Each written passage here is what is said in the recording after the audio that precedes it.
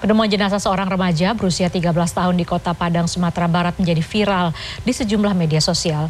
Korban diduga menjadi korban penganiayaan oknum polisi.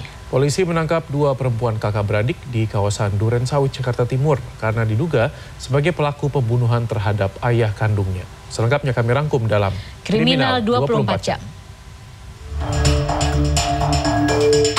Penemuan jenazah seorang remaja berusia 13 tahun di Kota Padang menjadi viral di sejumlah media sosial.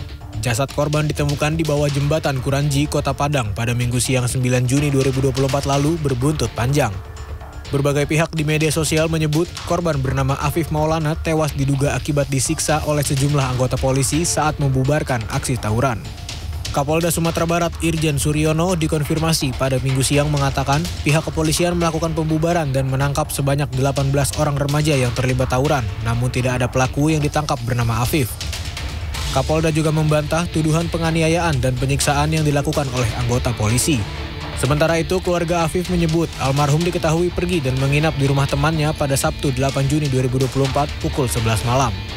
Pukul 2 minggu dini hari, ayah almarhum sempat menghubungi telepon Afif yang masih berada di rumah temannya.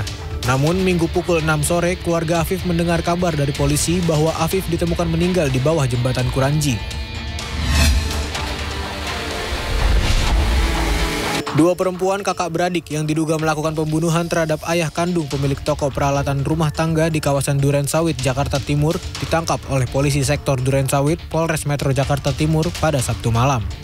Berdasarkan keterangan Kapolsek Duren Sawit, Jakarta Timur, AKP Sutikno pada minggu, keduanya ditangkap di lokasi pembunuhan, yaitu Duren Sawit, Jakarta Timur.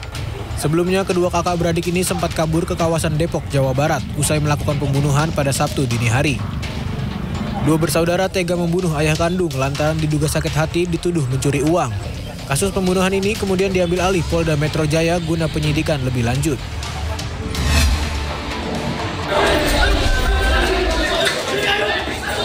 Tawuran antar dua kelompok remaja kembali pecah di pemukiman padat penduduk di kawasan Karanganyar, Sawah Besar, Jakarta Pusat pada minggu dini hari.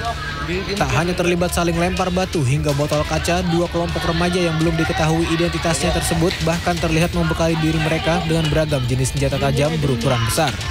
Warga berharap polisi dapat meningkatkan patroli keamanan di sekitar lokasi, terlebih aksi tawuran kerap terjadi di kawasan ini. Tim Liputan CNN Indonesia.